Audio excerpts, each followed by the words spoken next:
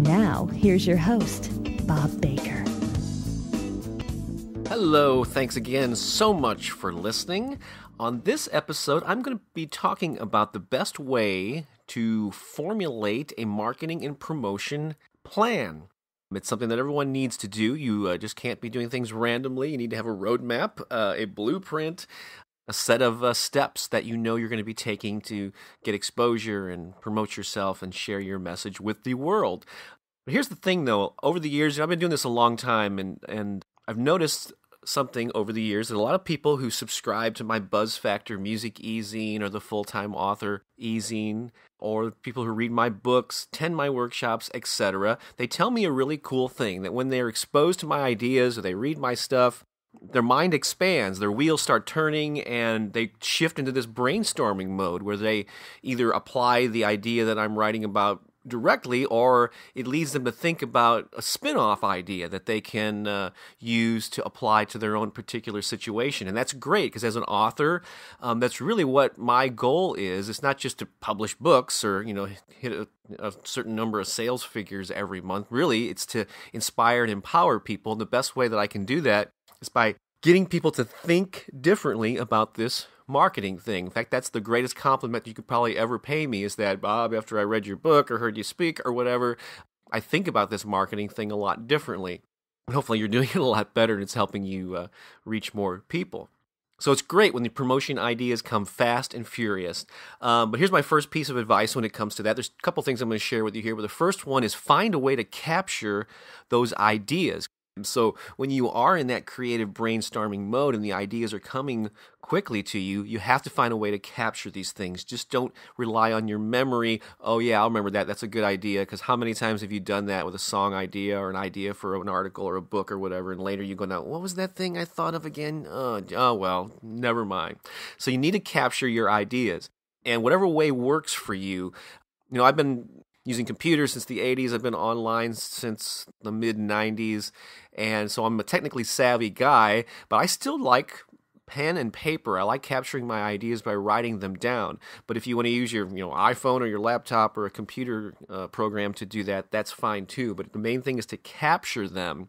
Uh, but the cool thing that I like about actually writing on a piece of paper is that when you write down your goals or you write down the ideas that you have, it's actually the first step to bring them into the material world. Otherwise, it's just an idea floating around in your head. And what you ultimately want to do is make that a real, tangible thing in the real world and actually writing them down where it's on a piece of paper that you can hold in your hands is actually the first step to making that a reality whatever method you use, the important thing is you need to capture these ideas and have a record of them in a place where you know you can go and look at them. So, if you're driving when inspiration strikes, carefully pull over and scribble down your thoughts on a gas receipt or a fast food bag or whatever is handy.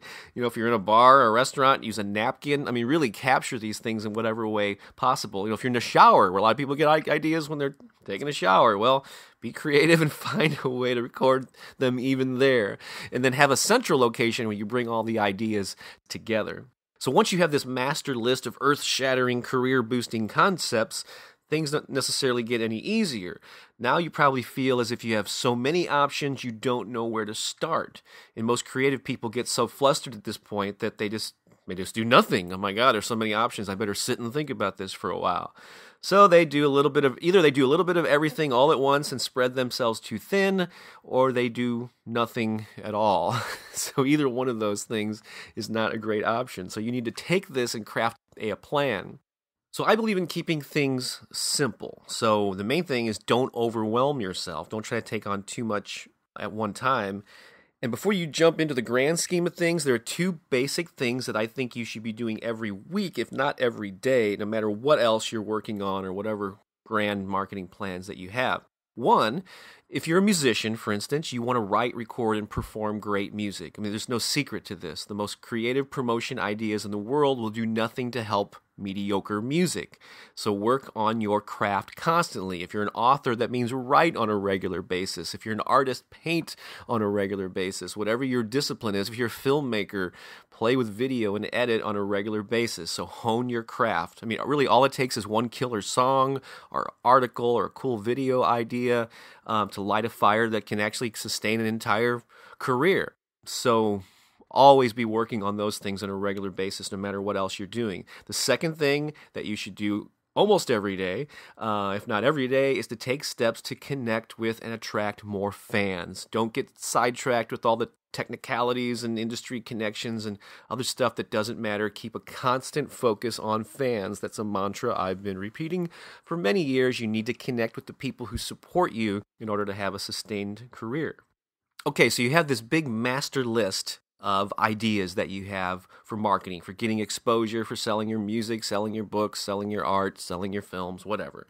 Now, the thing I recommend you do is to get out a calendar that covers the next 12 months. And you start writing down your best ideas and the times of the year that they would work best. Certain things are seasonal.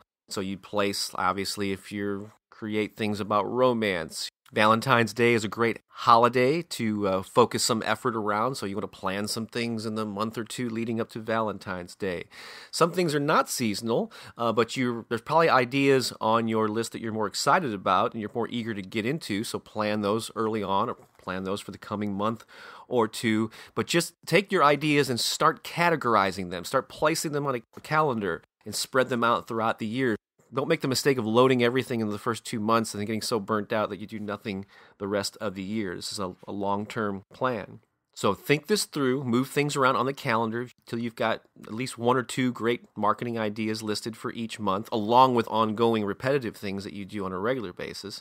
And doing this will give you a promotional roadmap so you know the best way to spend your time and energy every month, every week, every day. Your efforts will be a lot more focused, but this is not always easy to do. In fact, I developed a course for berkleemusic.com called Music Marketing 101. It's an online course.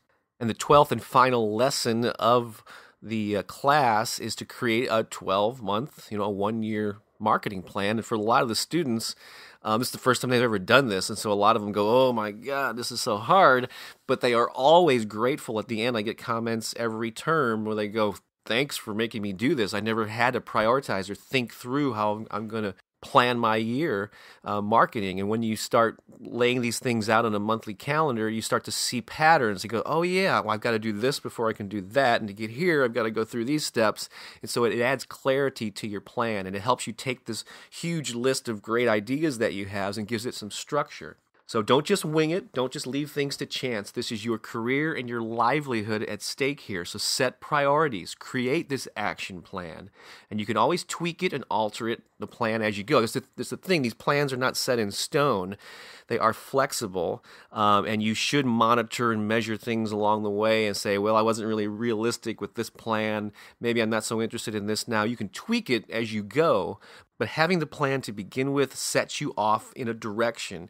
It puts one foot in front of the other, and through that action is what leads to the results and to the feedback that you need to alter it and make it an even better plan. So, the bottom line formulate a plan, your ideal plan, using this 12 month calendar. Take all those ideas and put some structure to them. So, do this soon while you're thinking about it now. If you're driving or jogging, what the heck? Just pull over and sit down and, you know, find something to scribble on. Uh, but formulate this plan and take that long list of ideas and organize them. No matter what your discipline is, I, uh, your creative genre, I hope this was helpful and I hope that it does uh, inspire you to sit down and uh, plot out your goals for the coming year. I wish you continued success. We'll talk next time. To subscribe and download the latest episodes, go to thebuzzfactor.com. Click on podcast. Go ahead. Do it. You'll be glad you did.